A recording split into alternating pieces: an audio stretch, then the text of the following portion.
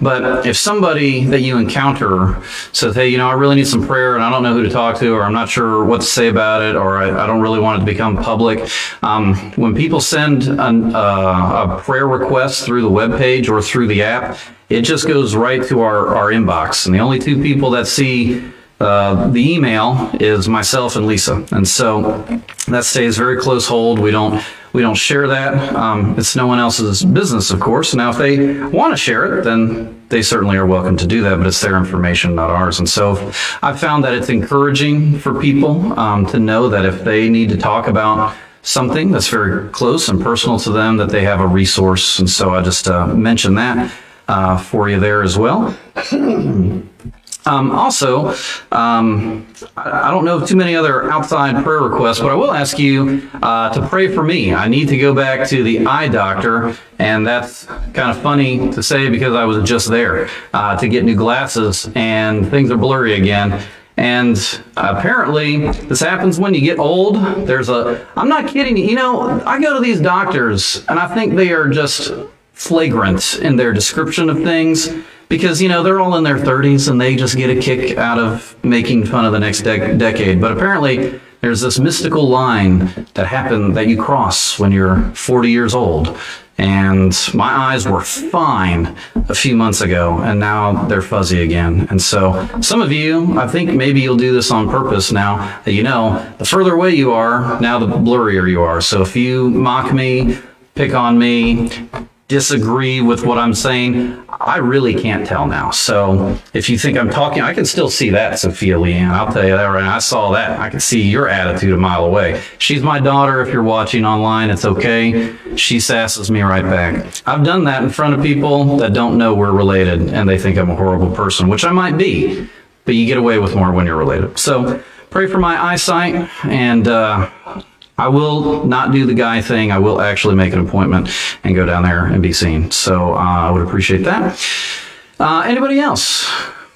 Hopefully with a slightly less humorous malady. Oh, good. Now the hands go up. Yes. All right. Lynn, I'm nearsighted, so I saw you first.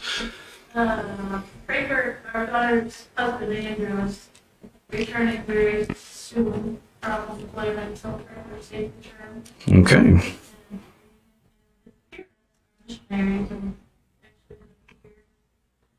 landed in States from Zambia. I did see that. And, it, and it, it'll be here rapidly within the next 20 days.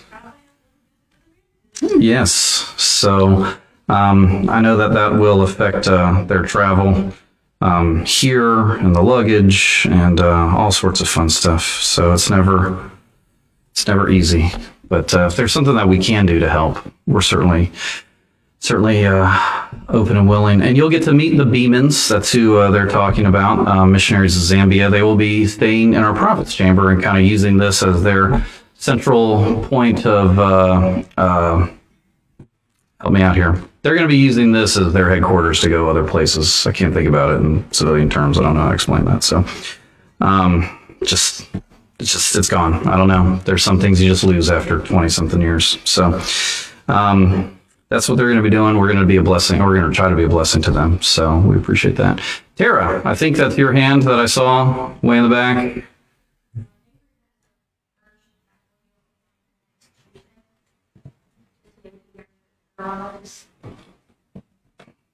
Okay. And also, um, Diana's little boy, health, Mm-hmm. he has dental surgery tomorrow. Mm. Ugh. Okay. All right. Is that is that Anthony? By any chance? Okay. So I thought. Okay. Pray for Avery and her upcoming appointment, and Anthony and his dental surgery tomorrow. Okay. Yes, Stephanie. The and Dr. But she's struggling with. So, the babies.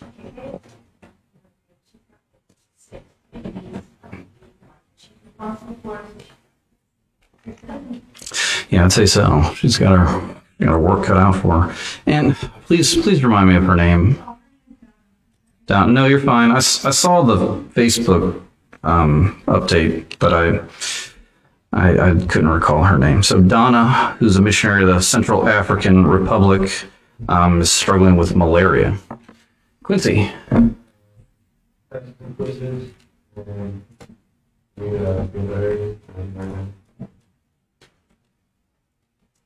Okay. So pray for Alicia, Alicia Sink, who's also not feeling well. She's going to feel even worse when she realizes that she missed tacos at the teen event. If she's watching, she's going to be very disappointed. She'll probably turn me off. Anybody else? Oh, yes, Becca. That's right.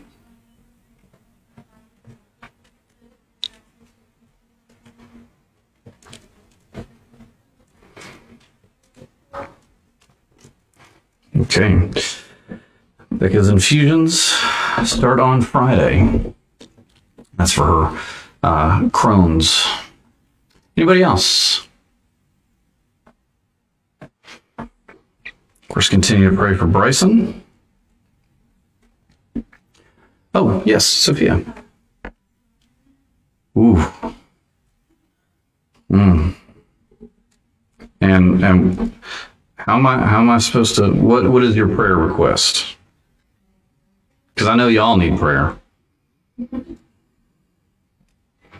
All right. Play well. Hmm. Climb every mountain. Anyone else? No, no, no. Okay.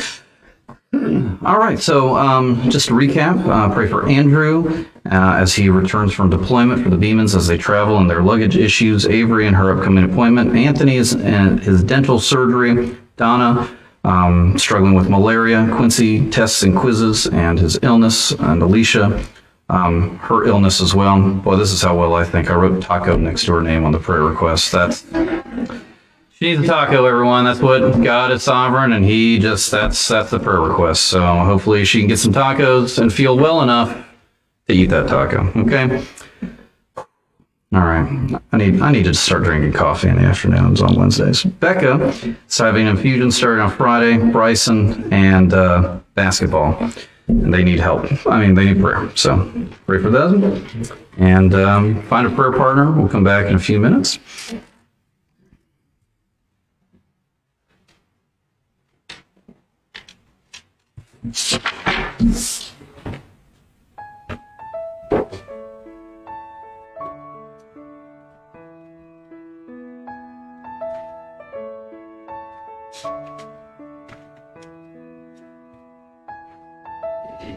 えい。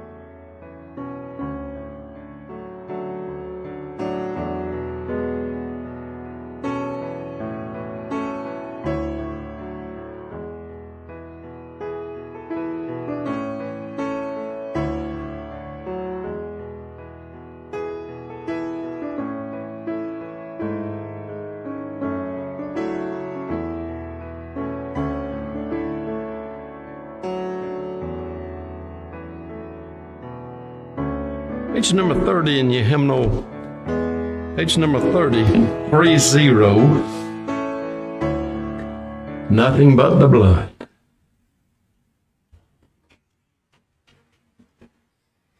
Let's stand as we sing.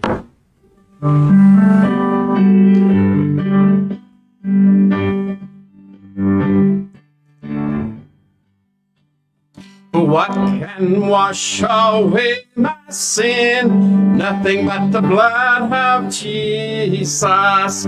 What can make me whole again? Nothing but the blood of Jesus. Oh, precious is the flow that makes me white as snow. No other fount I know, nothing but the blood of Jesus. For my pardon of this I see, nothing but the blood of Jesus. For my cleansing this my plea, nothing but the blood of Jesus. Precious is the flow that makes me white as snow. No other fount I know, nothing but the blood of Jesus. On that last stanza, this is all my hope and peace, nothing but the blood of Jesus. This is all my righteousness, nothing but the blood of Jesus. Oh, precious is the flow that makes me white as snow. No other fount I know, nothing but the blood of Jesus. Thank you. may be seated. We're in First John tonight. Finish the end of chapter 2. I'll tell you, we're going to talk about some interesting things scripturally and practically about cult. And in my robust research, I found lots of puns. Oh my goodness. It was, uh, they were so much, but they were so bad, y'all. They were so, I mean, I, I know I don't have many limits when it comes to bad dad jokes, but I found them. And so I actually had included them. And then I was reviewing for my message. I said, no, they're just, they're not wrong or inappropriate. They're just dumb. They were just so bad. they were just so bad. Um, just, man, they were really a stretch. So I will tell you, you will get more substance tonight than what I originally intended, and that is an amazing thing. So we're in First John chapter 2. We're going to read beginning in verse 26 and go down. The end of the chapter is just right there in verse 29, and we'll see what the Lord has in store for us here. the Bible says, These things have I written unto you concerning them that seduce you. But the anointing which ye have received of him abideth in you, and ye need not that any man teach you. But as the same anointing teacheth you of all things, and is truth, and is no lie, and even as it hath taught you, ye shall abide in him. And now, little children, abide in him that when he shall appear, we may have confidence and not be ashamed before him at his coming. If ye know that he is righteous, ye know that everyone that doeth righteousness is born of him. Tonight's message is spiritual safeguards against seducing spirits. Let's pray. Father, we thank you for your love and your truth. God, guide us into your wisdom. Help us to be discerning and to walk circumspectly. Help us, Lord, to take this information and to be uh, able to apply it to help ourselves, to help others as well. Be glorified in this message. We pray in Jesus' name. Amen. America alone has over 350 sects and cults most of which claim that their doctrines are based on the Word of God, the Bible, the book that you hold in your hands. And then in this passage in 1 John, we've already explored how John imparted a sense of urgency by reminding us that we're living in a type of time. He calls it the time of the end or the latter times. And, and we know that that's not just a time period, but it's a kind of time in which people will disavow themselves from sound doctrine, from healthy biblical truth. And when they turn away from that, as a part of this time, they will give heed to false teachings, those seducing spirits, and uh, value and become what John calls the spirit of Antichrist. Now, those false teachers mostly start out in biblical churches, but they deny the faith and they depart the fellowship. Now, in our last message, we surmised that we must know our Bible well enough to know and distinguish between right and wrong, between truth and error, to know what right looks like, and then to walk circumspectly, to be wise, to keep our head on a swivel, so to speak, to make sure that we know what truth looks like and avoiding all error. Now, as we conclude this chapter, John's going to help us see that false teachers try to deceive the faithful.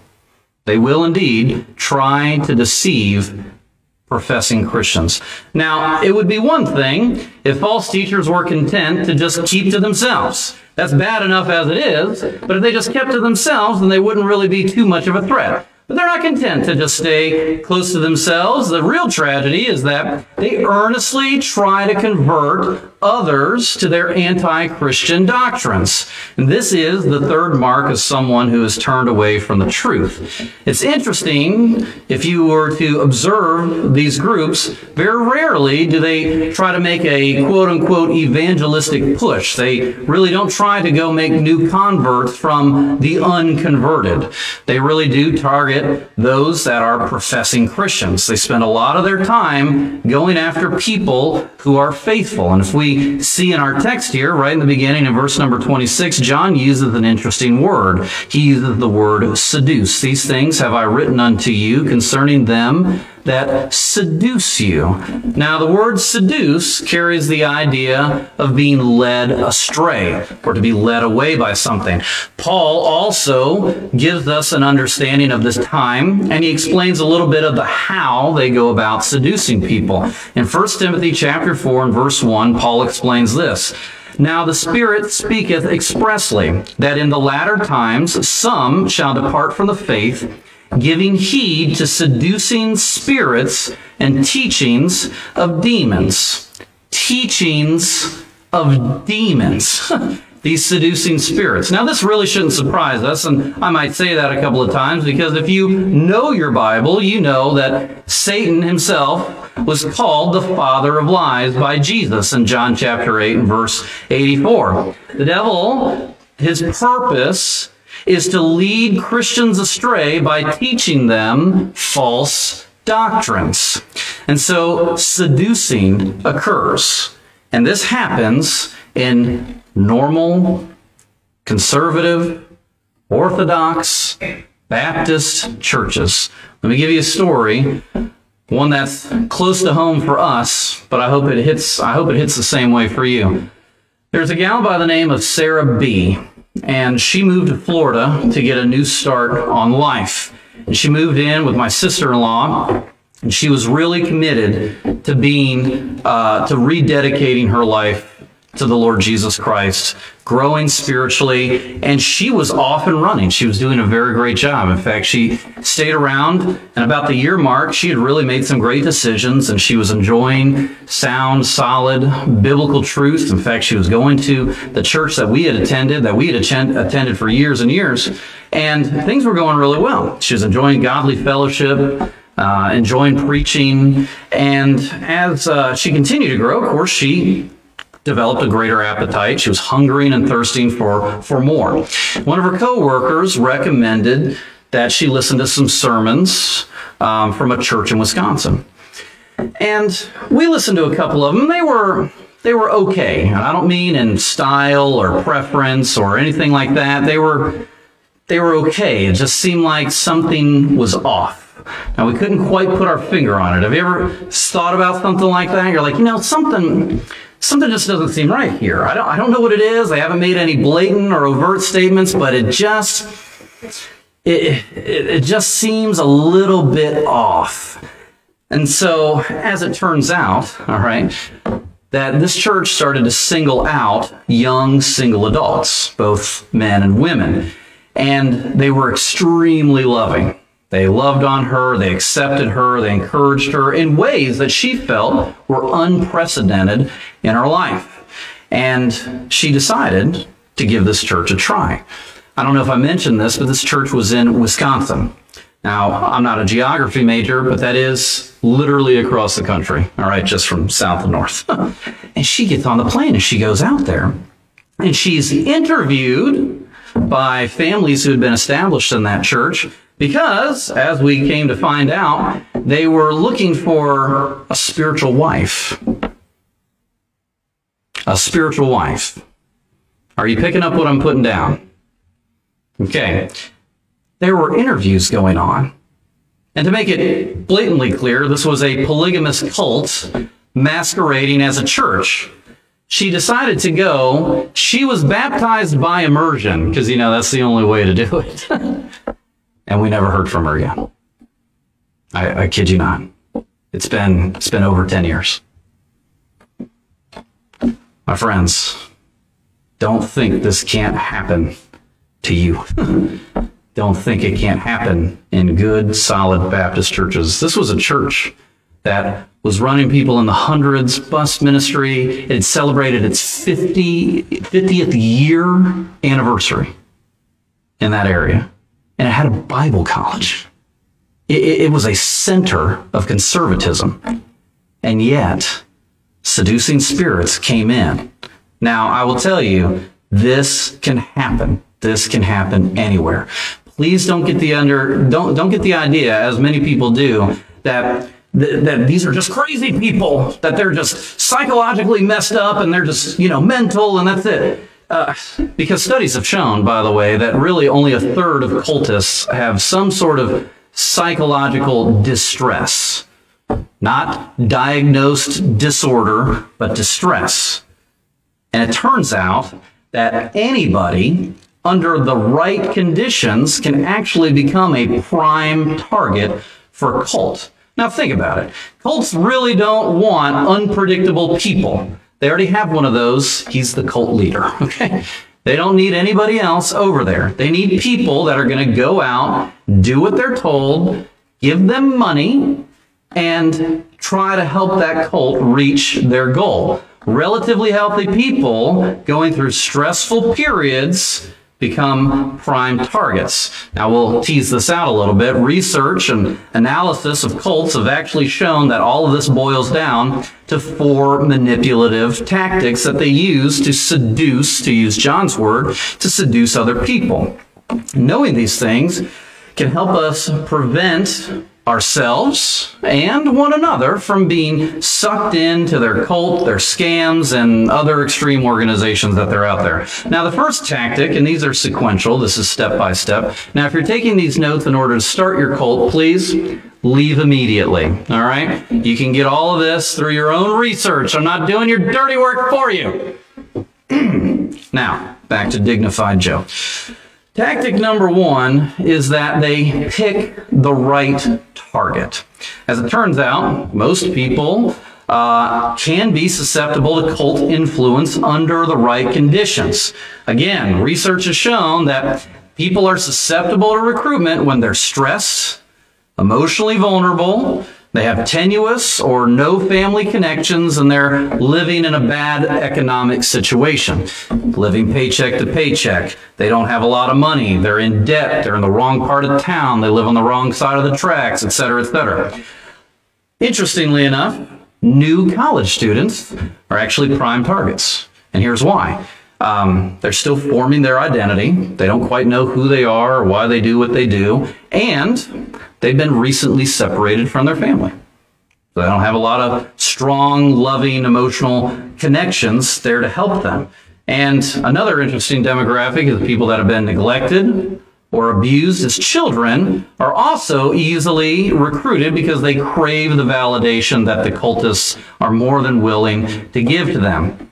In some communities, especially I noticed this in Tampa, um, some groups are targeted based off of their ethnicity or their language. A segment of society has been marginalized from the community or from the church. They crave that connection to other human beings. And in Tampa, it was the Jehovah's Witnesses that targeted Spanish speaking people. Um, the Spanish culture was very strong in Tampa, but it was, it was a minority uh, it was a minority culture. And one of the best things that we did um, at Tampa uh, was to start a Spanish ministry. Now, we didn't start it to ward off the cultists, although that was a, a tertiary benefit of having that there because it gave people a place to connect. I remember we were we were uh, we were at home one day, and uh, actually at my at my in-laws' house, and we um, had a knock at the door, and it was the Spanish-speaking Jehovah's Witnesses and they didn't want to talk to me, and they didn't want to talk to Lisa. We did not speak Spanish. All right.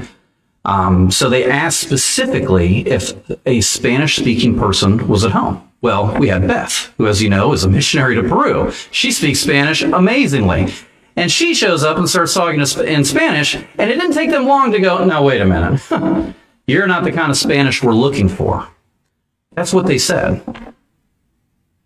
They want someone who is disconnected from the community, feels alienated, so they can love on them. And that's actually the next tactic. After they pick the right person, there's a tactic that's called love bombing. And that's a word that came from the Moonies, another cult that came on the scene. You can research them all day long. I'll let you, I'll leave you to that.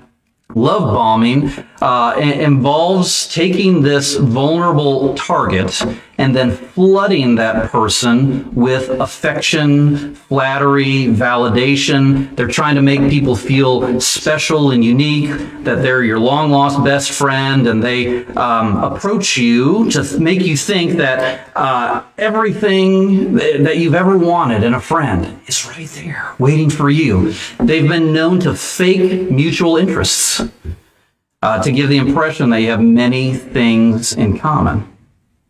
And so they also uh, have been known, uh, especially on college campuses, to wait outside counseling centers um, because they will poach troubled students and offer them the emotional comfort that they would otherwise get from a trained professional that's there in the counseling center.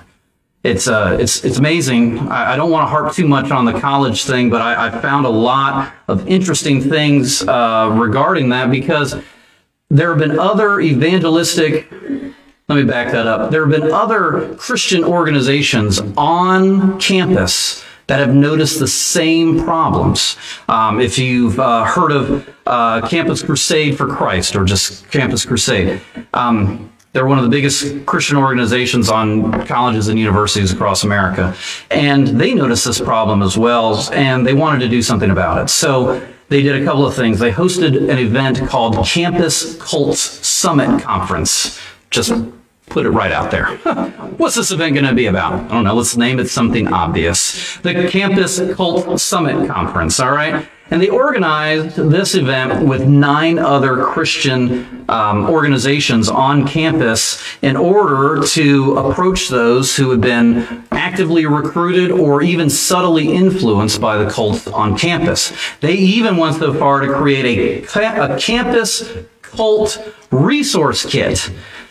And they did that because there were cults actively addressing them. The names of these cults they are called, trans, uh, some of them practice transcendental meditation. One is called the Unification Church, the Children of God, the Way, that's pre Mandalorian for those of you that are concerned, and the local church.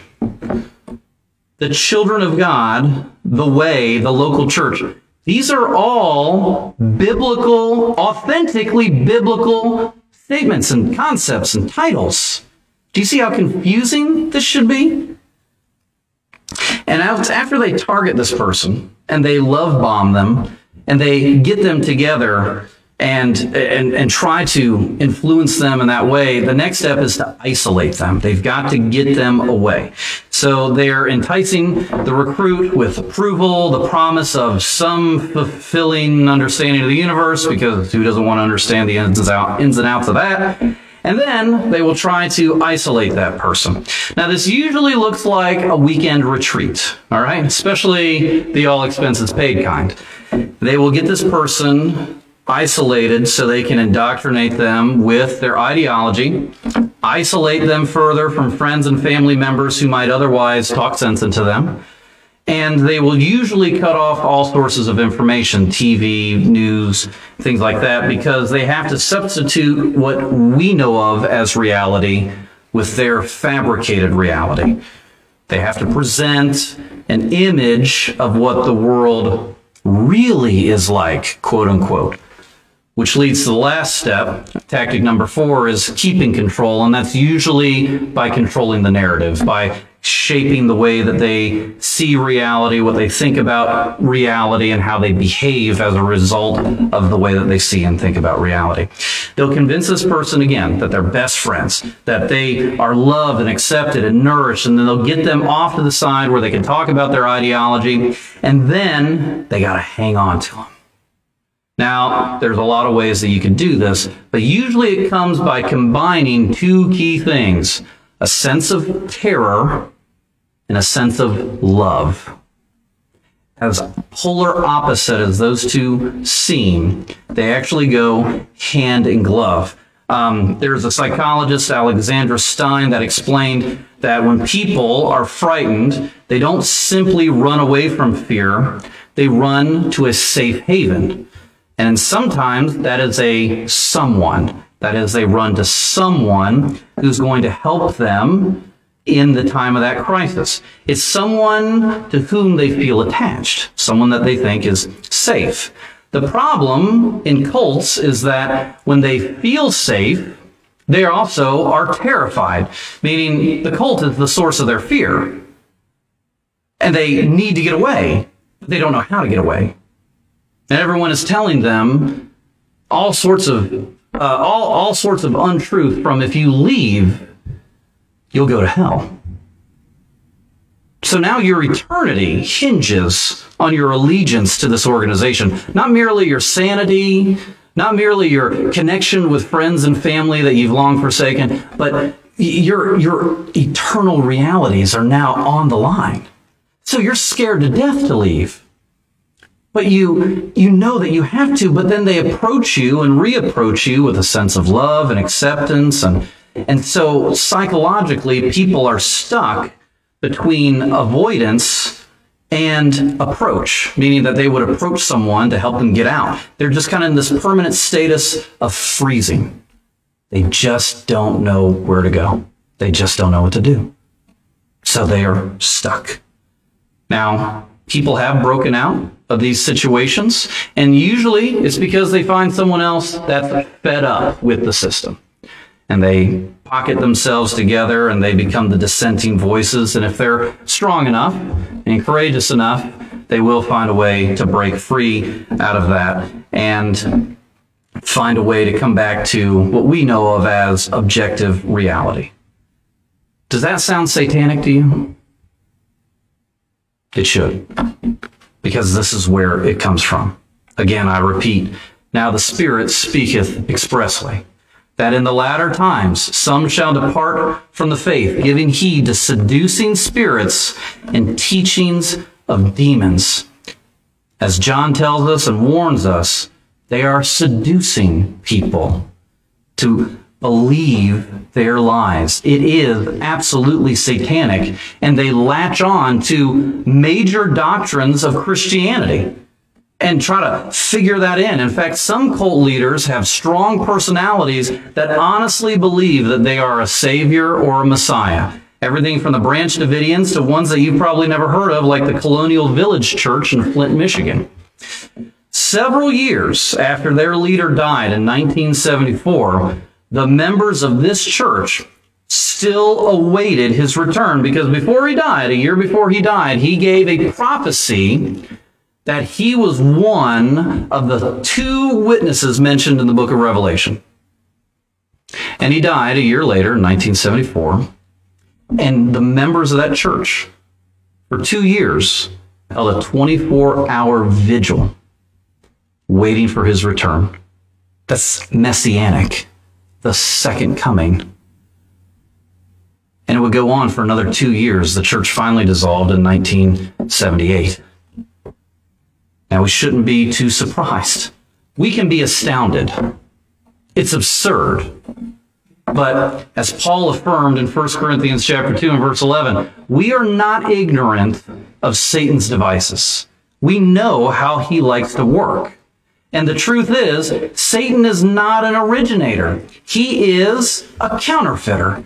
He imitates the work of God. He has counterfeit ministers, according to 2 Corinthians chapter 11, who preach a counterfeit gospel, according to Galatians chapter 1, that produce counterfeit Christians, according to John chapter 8, who depend on counterfeit righteousness, according to Romans chapter 10.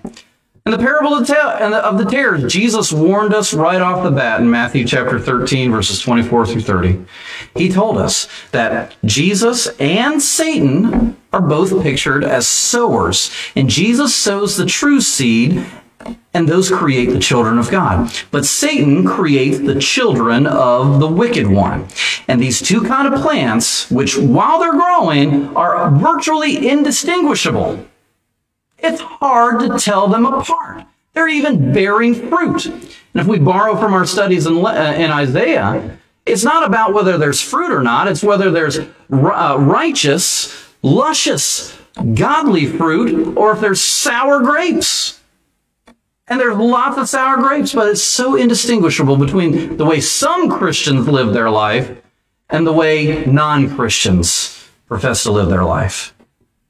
Satan's chief strategy, if we learn anything from the parable of the tares, is that he's going to plant counterfeit Christians wherever Christ has planted the true. Does that include here? Are there true Christians practicing biblical Christianity in this church? Then we're a target. So it's important to be able to detect and separate the true teachings of Jesus Christ from the false teachings. If John wrote to his church family, the little children, then he's writing to our church family as well. Now, how do we avoid this calamity? By establishing two spiritual safeguards against seducing spirits. The first one is easy. First, to reiterate, we know the truth. Go back to verse number 21 and we'll read there again. I have not written unto you because ye know not the truth, but because ye know it, and that no lie is of the truth. It's a used illustration, but it is still a useful illustration to say that the FBI trains their agents to identify counterfeit bills by training them to know thoroughly the authentic bills. So if we know the authentic truth, then it will be much easier to identify the counterfeit ones. Now, the second reality, the second safeguard that we must uh, adhere to is by depending on the teaching of the Holy Spirit. And this is found in verse number 27. But the anointing which ye have received of him abideth in you, and ye need not that any man teach you, but as the same anointing teacheth you of all things and is truth, and is no lie, and even as it hath taught you, ye shall abide in him. Now, every believer has experienced the anointing. Remember from verse 20 in our previous study, that is an unction. That's an anointing of the Spirit. And the Spirit is the one that teaches us truth. False teachers are not led by a spirit of truth. They are led by a spirit of error. We'll study that more in 1 John chapter 4. Now, we are warned against letting a man be our teacher. And you're like, oh, good, because it's getting time. Just go ahead and sit down now. Why have you been talking to us for so long? well, if I may. All right. God has indeed given us the Spirit to teach us His truth. This does not deny the office of human teachers in the church. Or else we have to ignore, you know, the entirety of Ephesians chapter 4. But it does mean that under the guidance of the Holy Spirit, we all must test the teaching of men to make sure that they are teaching the Bible. Okay? Here's a good example for you. A missionary to the American Indians was in Los Angeles with an Indian friend of his. And they're Christians and they're walking around. And while they're walking through the streets of LA, there's a gentleman with a Bible preaching on the side of the street. Now, the missionary could see that this man was a member of a cult, but he knew that his friend had not been exposed to these things before. So he was a little curious to see what would happen, but he's praying, like, oh man, oh, this guy doesn't listen. So the, his friend goes over and he's listening, he's listening, he's kind of taking things in, and then at a certain point, just walks back away. And the missionary says, so, um, so what, what'd you think of all that? He goes, Well, I was really interested because here's a man with a Bible preaching on the street corner. But there was something, there was something inside me that as I listened to him speak, something kept saying, Liar, liar.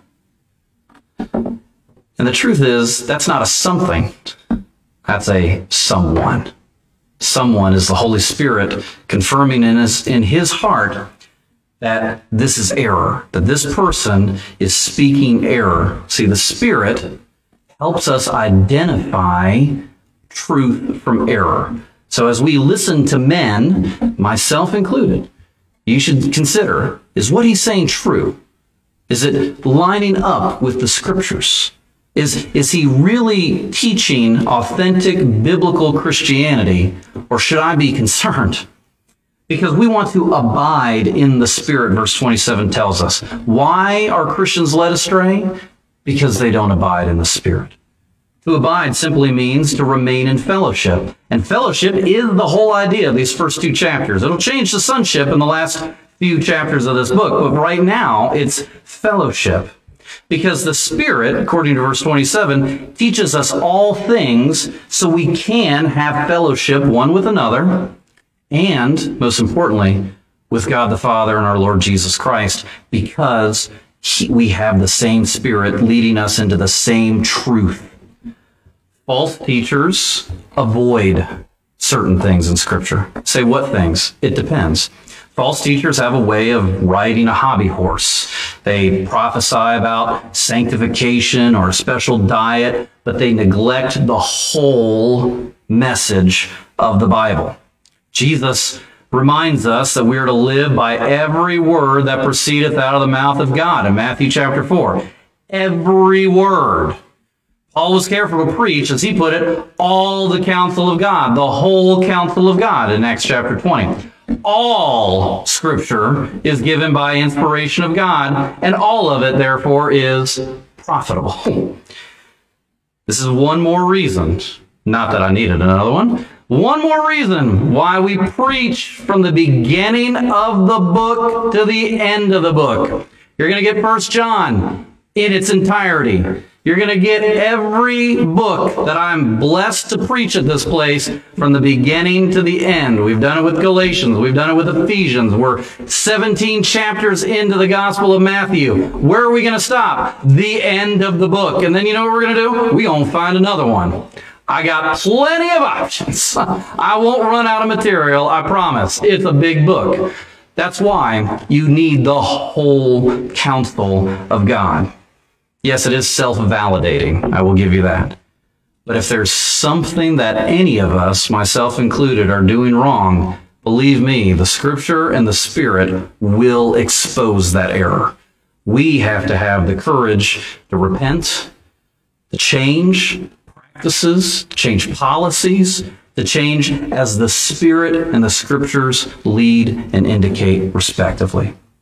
Now, this is what it all comes down to. Why? Why warn the church about false teachers? Why, why have this approach to book by book and all of this? Well, John closes this section with a reminder that all of us are going to appear before Jesus. In verse 28, he says this, And now, little children, abide in him why? That when he shall appear, we may have confidence and not be ashamed before him at his coming.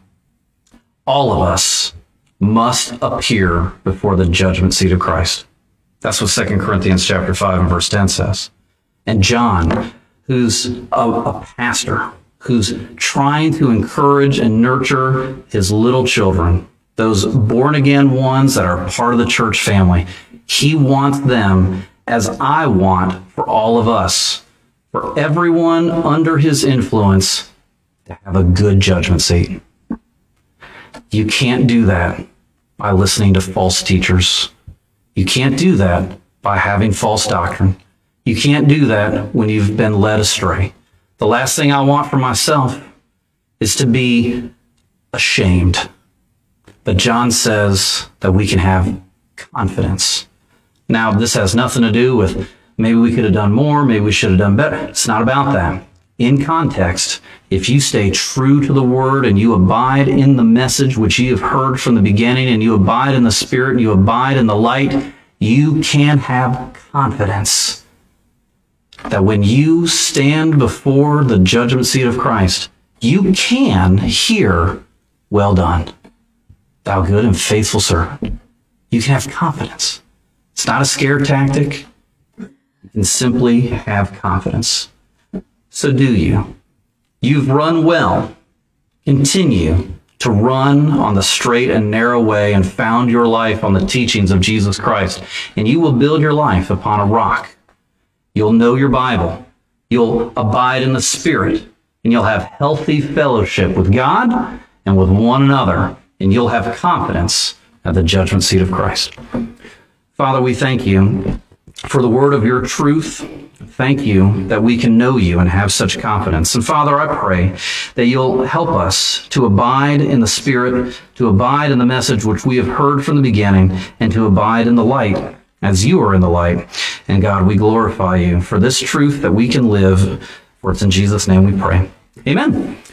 All right. I want to remind everybody uh, that there is a ladies' fellowship tomorrow night. You can see Miss Lisa about that. It's going to be um, it's going to be at the Melting Pot in Wilmington, and uh, she has all the details there. If you have any last minute questions, uh, you're welcome to ask her. Yep, we'll go over that some other time. Also, the only other thing I'll say is that I know um, uh, some of you folks are thinking about the missions trip and uh, some decisions that are looming there. And so, if y'all can just keep me in the loop at your convenience, I would appreciate that. Um, that way, we can continue to, to make plans and and uh, craft our agenda accordingly. And I believe that's everything, unless anyone's got any saved rounds. Nope. Okay, let's pray. Father, we thank you for your love and grace. I pray that you'll bless us with peace and comfort as we depart our way. Help us to go from here rejoicing, grateful for the truth that you've shared and for the spirit that we have. And God, I pray that you'll be glorified in our lives. Bring us back here to your house safely again this Sunday, that we may worship you once again together. We pray in Jesus' name. Amen. God bless you. You're dismissed.